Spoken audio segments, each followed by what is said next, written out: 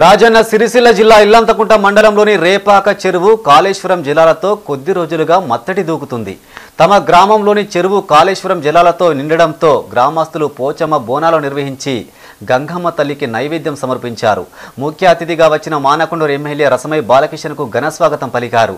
మత్తడి దూకుతున్న చెరువు వద్ద రసమై బాలకిషన్ ప్రత్యేక పూజలు చేశారు. సిర్ర చేతపట్టి డప్పు సంకనేసి తనదైన శైలిలో రసమై దరువు వేయడంతో చిన్న పెద్ద తేడా లేకుండా నృత్యాలు చేస్తూ ప్రజలు సంబరాలు జరుపుకున్నారు. ఈ కార్యక్రమంలో మండలంలోని అధికారులు నాయకులు ఆయా గ్రామాల ప్రజలు పాల్గొన్నారు.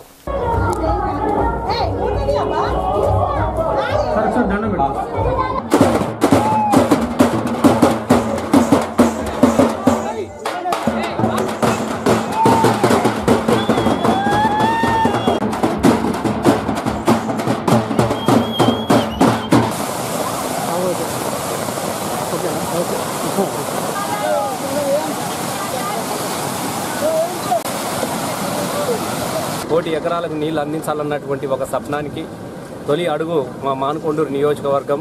లక్ష ఎకరాలకు నీళ్ళు అందించాలన్నటువంటి ఒక లక్ష్యాన్ని పెట్టుకొని ఇప్పటికే మిడ్ మానేరు అనంతగిరి ద్వారా కాలువలన్నిటి కూడా పూర్తి చేసుకొని బెజ్జంకి ఇల్లంతకుంట మండలం గన్నేరువరం మండలం కొన్ని గ్రామాలకు నీళ్ళు ఇవ్వడం జరిగినది.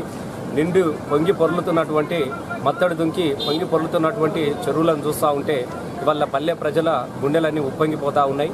ముఖ్యంగా రేపాక చెరువు ఎన్నాల నుంచో చాలా పెద్ద చెరువు ఎన్నాల నుంచో ఎదురు చూస్తున్నటువంటి సందర్భం.